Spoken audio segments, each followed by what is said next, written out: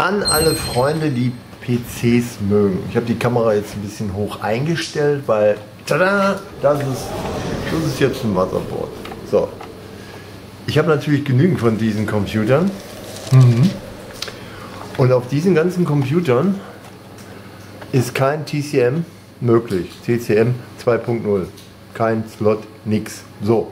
Und deswegen kann ich darauf kein Win 11 packen.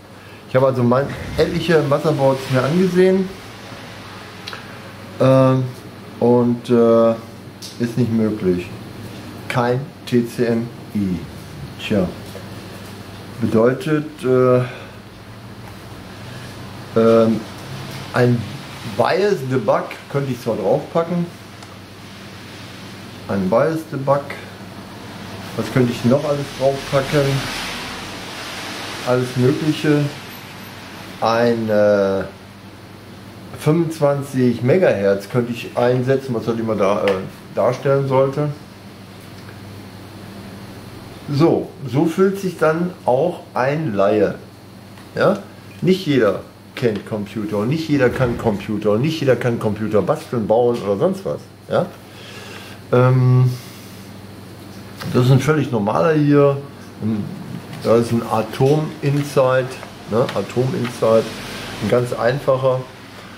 Äh, er macht seine Arbeit, hat 2 GB RAM, ähm, alles intern, hat leider noch eine richtig schöne alte Festplatte. Wenn jetzt hier eine SSD drin wäre, würde alles viel schneller gehen. Auch dann würde dieser hier einigermaßen arbeiten. Äh, aber mit diesen alten halt äh, arbeiten die sowieso wie sie wollen. Ne? Dann hat er natürlich noch äh, normales DVD drin. Ja? Aber wie gesagt, ich habe jetzt alle untersucht, ich habe mir alle angesehen und keiner, wirklich keiner hat die Möglichkeit, dass ich nachrüsten könnte. Ja? Äh, mal eben gucken. Also ich habe verschiedene Sachen hier. Äh, ein COM 1 könnte ich setzen, ein COM 2 könnte ich setzen. Das ist das. Ihr kennt ja immer alles besser. Ne? Ihr kennt ja, ist ja klar, ihr haut mir sofort einen wieder zwischen die Zwiebel, aber egal. Das ist ein IPX7A Ion, ION, Ion Motherboard. Und äh, wie gesagt, wir haben diese mal bekommen und wir haben jetzt festgestellt, egal was wir bekommen haben, ja, egal welchen Rechner wir bekommen haben, ist nicht nachrüstbar und somit würde also Win11 so, wie die das haben wollen, nicht funktionieren.